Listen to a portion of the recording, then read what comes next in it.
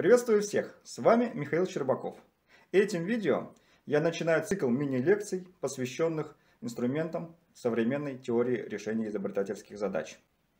Вы, наверное, сталкивались с такой ситуацией, когда у вас появляются какие-то проблемы, например, падают продажи, появился брак, конкурент вывел на рынок что-то новое и необычное.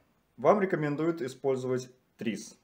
Это и последующие видео будут посвящены знакомству с теорией решения изобретательских задач и результатам использования этой методики.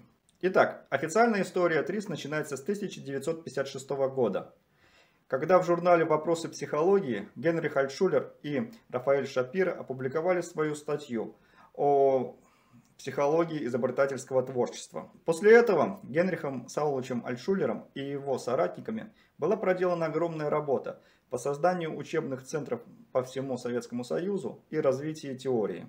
К середине 80-х годов прошлого века сформулировалась классическая теория решения изобретательских задач.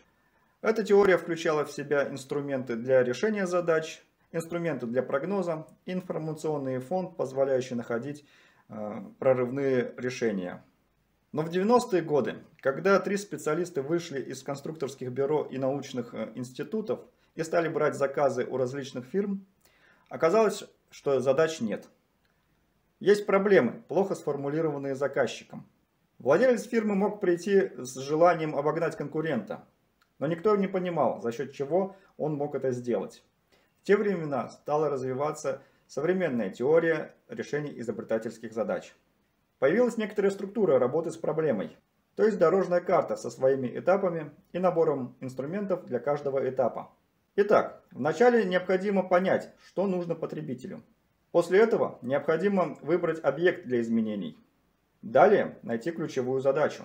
И только после этого хорошо решить ее. ТРИС – это набор инструментов, позволяющий выполнить многосторонний анализ и найти концептуальные решения. Для знакомства с современной ТРИС я подготовил несколько мини-лекций. В этих лекциях вы найдете основы инструментов ТРИС, позволяющих выбрать цель, выполнить анализ проблемы и решить найденные задачи.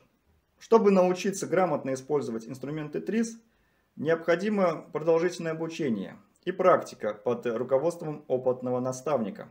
Рекомендую смотреть видео по порядку. Пишите свои предложения и вопросы в комментариях. Я постараюсь на них ответить. Инновации с нами. До скорой встречи. Пока.